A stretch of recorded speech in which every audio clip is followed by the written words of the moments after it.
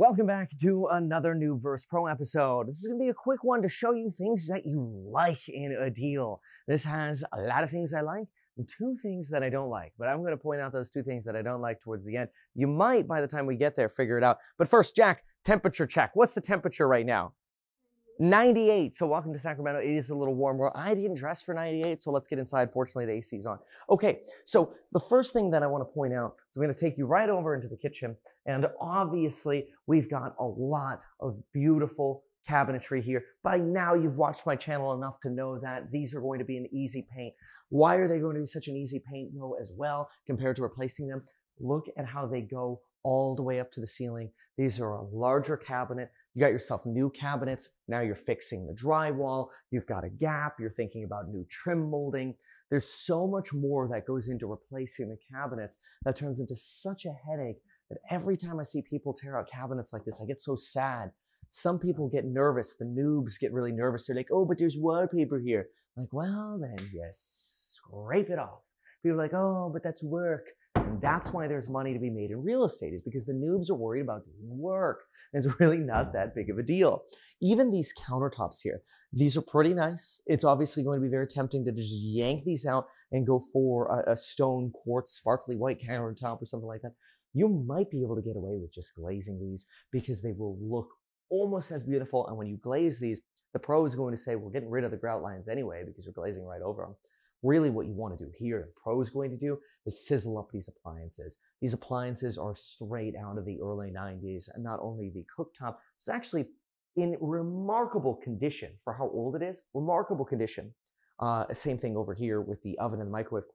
But what a pro likes to do is look at the condition that the appliances are in and usually they're a tell for how much the owner actually cared for the property. When you've got an, a, a, you know, a 31, two year old appliance and it still looks this phenomenal, you know you've got a pretty good quality owner who's taking care of the project. And that's what a pro wants to look for. You want something, I mean, look at this. This is 30 something years old. And it, it, look at that, July 1990. And you're in pretty clean, solid condition for 32 years old. I bet you it still functions. Even this, that's not bad for 32 years old. Eh, this is a little much, you know, but you know, that's what happens when ovens get used. But again, it's not dinged up. It still probably functions, but we would get rid of them. Uh, trash compactors, frequently an easy way to update these since they do break all the time. I wouldn't like to rent a property out with a trash compactor anymore. Uh, Pro is going to turn this into a smaller wine cooler. Uh, eh, they're super inexpensive. You just get one that's that size, slide it in, plug it in, and call it a day. These sinks, a lot of noobs look at these and say, oh, it's ruined. Oh no, what are we going to do? We're going to rip it out. It's a headache. This is an undermount. For you to get rid of the undermount, you're probably going to ruin the countertop now. So it's always in real estate. The more you do, the more you destroy usually. Uh, so here's just another case where as you're glazing the countertop, you glaze this. you know, take the faucet off, glaze it, reinstall the faucet. It's actually in great shape, this faucet. I don't even know that you need to replace it, especially if you get stainless steel appliances, you got the chrome. I don't know. You could maybe update it if you wanted to, but not super necessary. Big fan of updating personally all of the ivory to uh, white. Just makes the property feel more modernized. I'm also not a fan of the mini blind. A lot of people into mini blinds. I do think these scream low class rental. And so we're going to get rid of those. We would go with something like a two inch faux wood louvered blind. Uh, can lights here, easy to replace the trim sets on these. They're screw in cans. They're not the plug in fluorescents that are a horrible nightmare. These would be easy to, for, you know, a hundred bucks and, and an hour of time, replace all of these with a new LED trim kit obviously replace the other electrical. Now, this slider, new, looks fantastic. These are expensive. Installed, you're probably 1800 bucks on something like this. So the fact that it's already done, excellent. Now, a lot of people say, oh, but Kevin, the backyard's not as big as I want. And I look at it and go, I'm not living there. I don't want to maintain it. And as a real estate pro, less of a backyard, the better. Good hard to mess up the top over here. It's retaining wall and concrete, you know, and, and, rock, and you don't have that much grass. So even if the tenants destroy it all, we're looking at maybe what 600 bucks worth of sod. Okay, maybe a little bit more, but uh, this is not that bad. Worst case scenario, it's within the realm of a security deposit. Imagine if we had a 10,000 square foot lot back here. It was all grass. There's no way a tenant security deposit will cover that if they were to kill the grass and were responsible for uh, the landscape, which personally, this is a tenant's responsibility. I'm not coming to their backyard. I don't even want to bother them in, in their backyard all the time. So, uh, you know, obviously this, this molding over here, uh, dated, easy to update. Uh, it does take some effort, but this is really a paint job here. Now, uh, same thing everywhere you go, but it's all good quality, great condition. You'll see the same thing upstairs. You do have some wear and tear over here, but none of this wear right here. Jack, careful, can you get out of the way for a second there? None of this wear right here, Jack, you see that? Probably comes from the water spilling over, see it on both sides over here, where you don't have that over here. Uh, none of this has, has gotten to the point where it's actually destroyed uh, the cabinetry or done, uh, you know, damaged it or otherwise. They actually even put this linoleum sheet down to protect a cabinet uh, here, which I mean, again, it's just a sign of an, uh, this is an owner that I would want to buy from.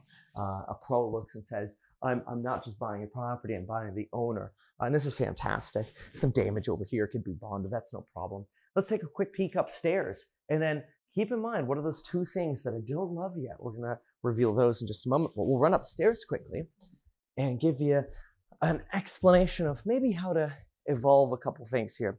The first is these guys, I'm going to, uh, and people hate it when I say this, but nobody expects central vacs anymore. It's a central vacuum cleaner. If you're not familiar with what that is, you basically have a, vacuum in your garage generally, and when you plug it in, sends a little signal, turns it on, and all you carry around is the hose and the actual vacuum part rather than the canister. That all goes to a canister in the garage. However, most of them are broken, and if it's there and advertised that the house has it, and the tenant is expecting it, then you have to pay to maintain it as the landlord, assuming the tenant isn't breaking it. But these break all the time, not necessarily the tenant's fault. So what would I do? Cover this up with a blank plate? House doesn't have central vac. I would not introduce uh, uh, the, the, to the tenant that this is included in the rent, or I might not cover. Well, I'd probably cover it with a blank plate because this um, this ivory's gross. Uh, but I might say central vac included without warranty, or if tenant wants to use it, it's it's on them. Whatever, maybe that. So, re- but replace it with a white. But forget about it. I would not warranty this. It's not expected. Nobody really uses them anymore these days. So something to keep in mind. Now, coming into the master, you can see the carpets pulled through uh, to the master. Obviously, this is something you'd probably create a transition uh, coming into the wet areas of the bathroom. You could replace the linoleum. Really, if you want to go inexpensive here, you could replace this whole area with new linoleum. Now, a lot of noobs get mad at me when I say that. They're like, oh my God, Kevin, how could you say new linoleum? That stuff is disgusting. The new linoleums that you can get today actually look like real tile. And I could get this whole room probably linoleumed for like 350 bucks.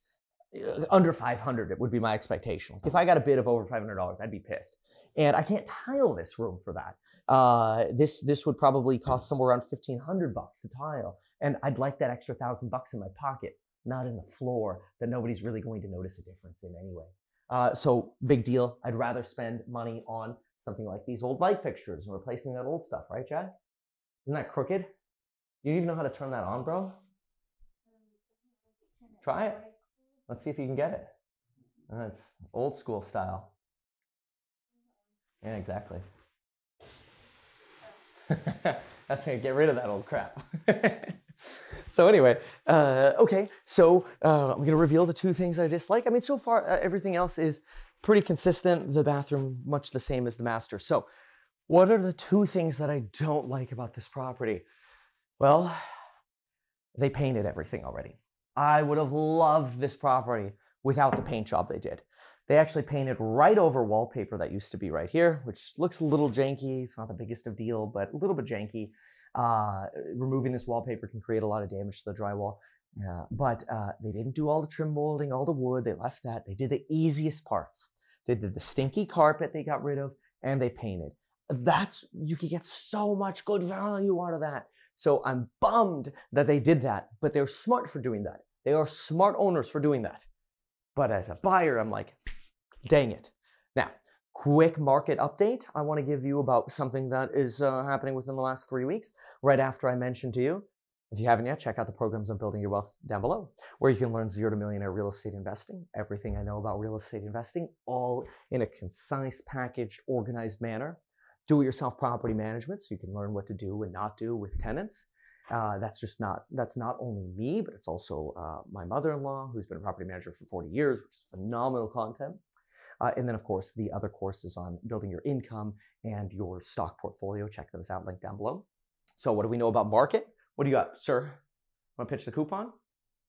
Is reminding you about the coupon link down below. Uh, final thing is uh, market starting to see inventory rise. This is the expectation we've been looking for. It means we're getting close. So we're very excited.